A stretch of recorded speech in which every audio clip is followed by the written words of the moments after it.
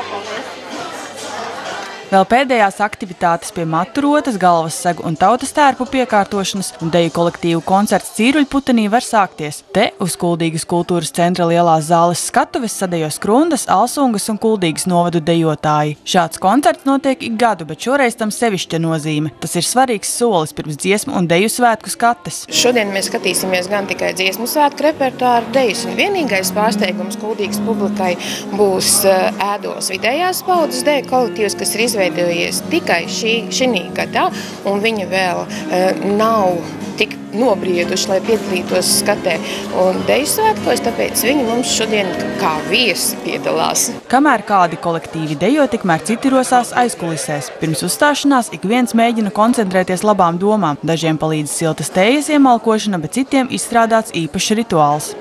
Iekšā, visu labu iekšā, visu labu iekšā, visu sliktu ārā! Deju kolektīvu vadītāji stāsta, ka dejotāju tērpus izdevies nokomplektēt veiksmīgi, turpretī problēmas nereti sagādājot izmaiņas sastāvā. Tas tāpēc, ka labāk apmaksāta darba meklējumos daudz ir spiesti pārcelties ne tikai uz citu pilsētu, bet pat uz citu valsti. Mazliet vieglāk esot ar vidusskolas audzēkņiem. Tur vismaz skaidri zināms, ka trīs gadus skolēns dejos.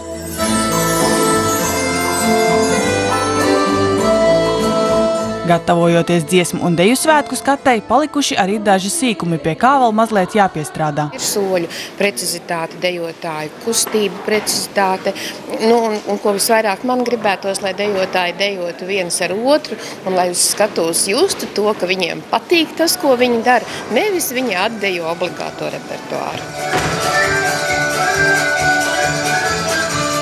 tām kājām jau mēs esam tikuši kārtībā, bet nu, ir jāiemāc tas acu kontakts. Dejošana ir tā kā Rīgu. Nekad nebūs gatava, nekad nevar iemācīties tā, lai nevarētu iemācīties vēl labāk. Tā kā darbi ir vēl ļoti daudz, jo var papildināt katrā mēģinājumā un būs ko papildināt. Atrodās, atrodās, atrodās, ko vēl darīt. Tāda reize nekad nebūs, ka nevajadzēs neko pieslīpēt. Kad reiz ir tā, ka dejojam ilgi, ilgi deju, un tad pēkšņi atklājam, ka kāds, piemēram, uz nepareiz pusi griežos kādā vietā. Ja.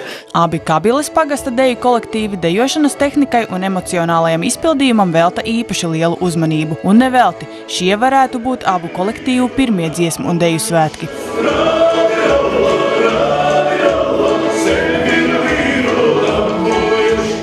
ļoti stingri gatavojamies. Tāpēc arī šodien tas koncerts man ir ļoti svarīgs, jo es skatos no malas, lai es pierakstītu un lai zinātu, kas man vēl ir jāizdara mēnešu laikā līdz skatēji. Bet kopumā viņi ir maleči, maleči noturējās un nodejoja labi. Nozīmīgās skates tuvošanos jūt arī paši deju kolektīvu dalībnieki. Tuvojas skate un mēģinājums varbūt tās ir mazliet nervozāki paliek, jo nu, detaļas ir jānoslīpē, jo principā dejas jau ir, uh, deja, dejas tas uh, raksts jau ir kā apgūts, ja, bet nu, eh, jāpieliek klāti tā emocionalitāte, varbūt eh, pāris savstarpējās attiecības. Cik mēs sanākam, cik mēs arī strādājam, tas piekdienās, sestdienās.